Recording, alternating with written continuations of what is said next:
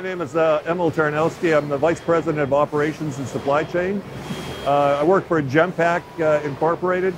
Uh, Genpak is a manufacturer of uh, private label uh, laundry and uh, dish products. This particular facility manufactures the automatic dish tablets.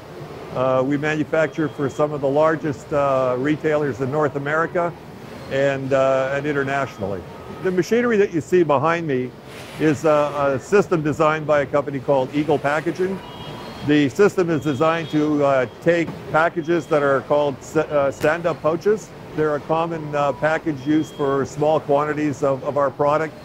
The equipment takes the SUPs, collates them, brings them to the packaging station where uh, the material is put into uh, small cases that are also uh, produced on the Eagle packaging line.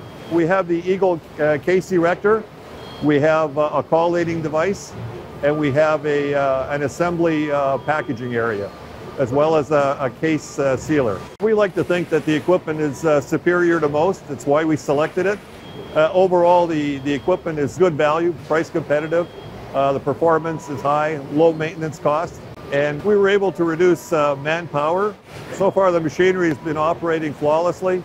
We have uh, a fairly good response from Eagle in the case, in, in, in the event that we have any issues.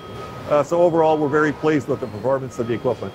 Another strong selling feature of the Eagle equipment is the, is the local service. Uh, we're able to get the service uh, within a day because of the, uh, the location here.